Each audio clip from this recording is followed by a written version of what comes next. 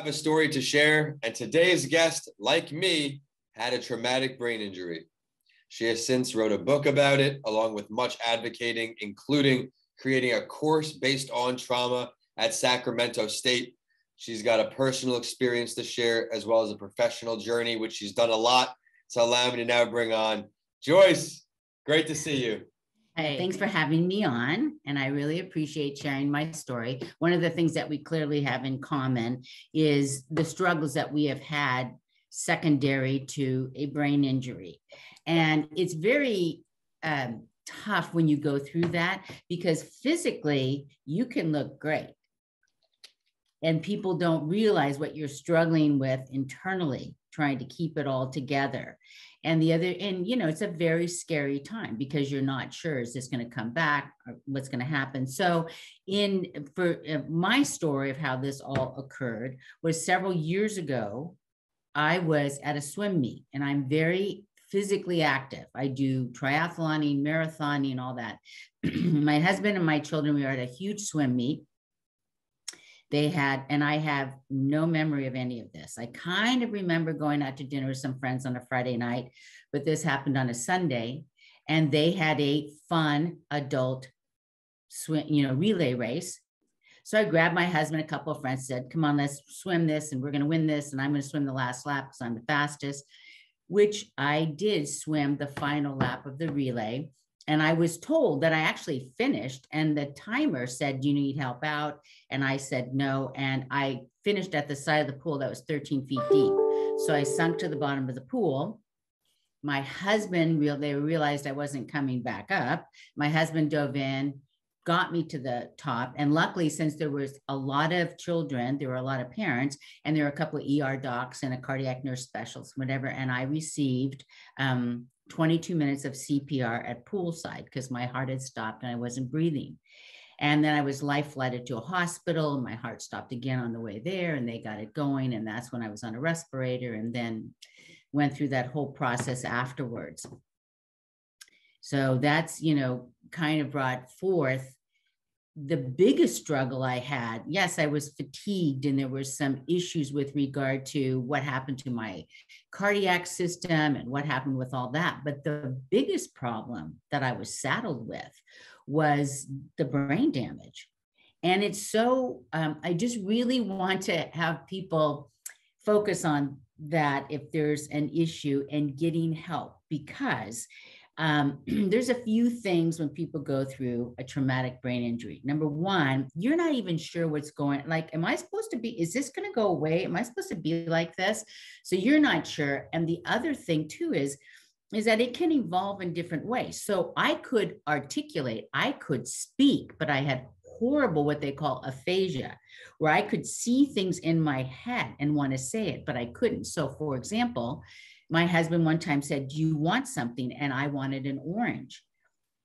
And I could like visualize an orange in my head, but I couldn't. I would say, Oh, yes, I want one of those things. And there's vitamin C in it and it's juicy and you peel it and do. it. So I had a lot of that. And it's so frustrating to me. And I, and I really talk to people a lot about this because I am a nurse practitioner. Okay. I had friends and family, I had colleagues around, and nobody ever said to me, now this is several years ago, but nobody ever said, Hey, I think you're going to suffer some traumatic brain injury as a result of your extended CPR. So I felt lost, very angry, and very scared. I can resonate with all of those in the beginning of my traumatic brain injury. Now, were you saying you got your TBI from getting CPR, your head hitting the back of the ground? No, no, no, no. It was from the extended CPR because they get as much oxygen as they can, right, to your brain. That's the purpose of the CPR. Really, what's the most important organ? Like, well, obviously your heart and lungs, but your brain. And so it was a limited, you know, there was a lack of complete oxygen to my brain. So there was an anoxia to my brain, which caused the the problems that were associated with that. And you know in all honesty physically like i said i actually came back pretty quickly but my uh, neurological status was uh, the toughest. And probably for me, in many ways, the most depressing part to tackle when I was getting better because I had always really felt I was, you know, very active, but I love my brain. I love being, you know, I'm a scientist. I loved all that.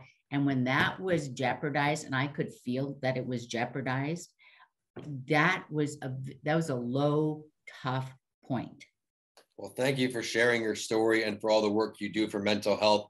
Our audience now has had the opportunity to learn a little bit about you on the mental health side of things. What is something else you want the world to know about Joyce? What do you enjoy doing outside the medical health, the mental health field, maybe?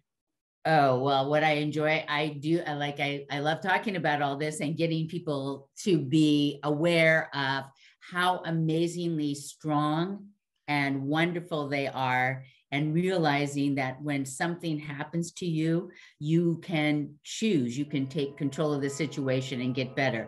The other thing that I want people to know is that as you go through things in life, the thing to me that brings about the most productive part is to be of service to one another. So, Vincent, thank you for the service you do in bringing this awareness to each other, and it's very purposeful and Good.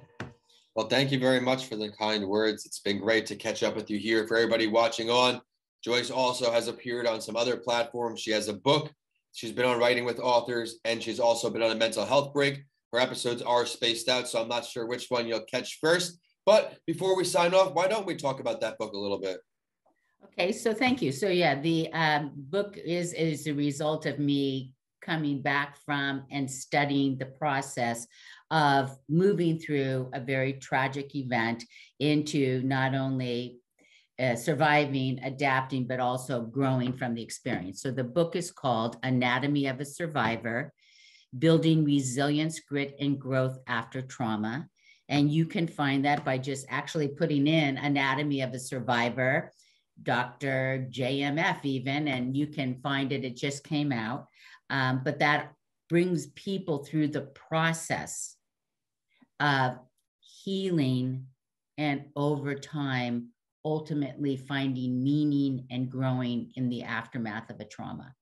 Well, you're doing a lot of great work for trauma patients. Something I wish I had more of was just more conversations with people who went through it, not just mm-hmm. what may happen, hearing it person to person. You're doing a lot of work on that front. So thank you so much for that.